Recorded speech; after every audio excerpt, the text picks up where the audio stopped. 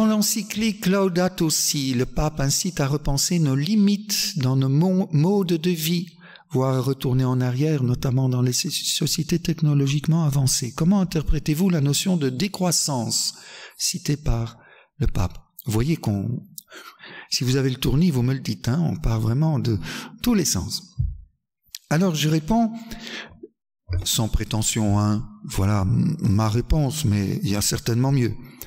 Le pape vise une croissance que j'appelle artificielle, au sens où elle n'est pas naturelle dans cette croissance de l'humanité vers un bien-être toujours plus grand, elle n'est pas nécessaire, elle est suscitée et entretenue par le système de production qui est obligé de créer des besoins nouveaux pour entretenir la société de consommation.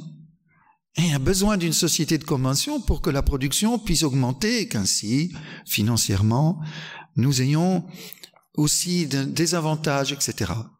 Alors, nous assistons depuis quelques années à une inflation au niveau de la production de produits dont nous n'avons strictement pas besoin. Et ça, nous le savons tous. Et n'oublions pas que, et, c'est la publicité qui nous le rend indispensable, bien sûr.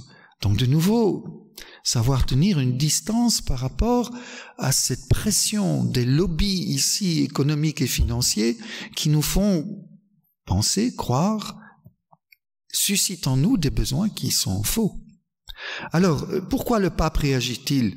Car eh ben, tout cela consomme énormément d'énergie, souvent de l'énergie peu écologique, et cette surproduction épuise les ressources de la Terre au profit d'une minorité qui n'en a pas besoin, justement, je viens de le dire.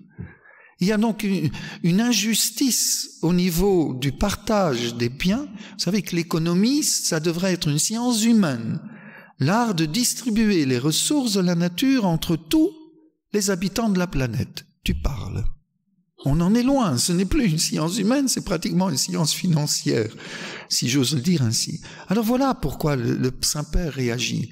On crée des besoins qui épuisent la terre au détriment de ceux qui auraient besoin de ce qu'on investit de l'autre côté et qu'on investit d'une manière peu écologique.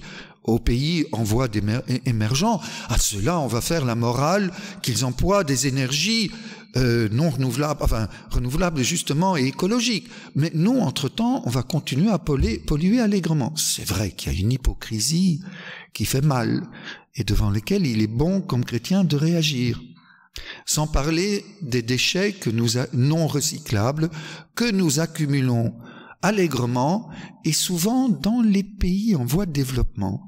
Si vous avez vu certaines vidéos sur comment nous jetons nos déchets dans ces pays là-bas qui ne peuvent même pas réagir, il y a de quoi avoir honte. C'est vrai. C'est très, trop rapide ce que je dis ici, hein, mais vous voyez pourquoi le pape demande une décroissance. Ce n'est évidemment pas une décroissance au niveau du progrès scientifique, du progrès technologique et de la nécessité, du besoin, oui, d'aller vers un plus grand bien-être. La décroissance au niveau médical, vous imaginez ce que ça donnerait. Mais non, il faut continuer à mettre l'intelligence au service du bien commun, comme nous avons dit. Mais il y a des croissances qui ne sont pas pour le bien commun, mais pour certains, le bien particulier d'une minorité. Et parfois même avec, euh, mais bon, n'allons pas jusque-là, hein, des soucis eugéniques inavouables. Mais j'en parlerai pas aujourd'hui.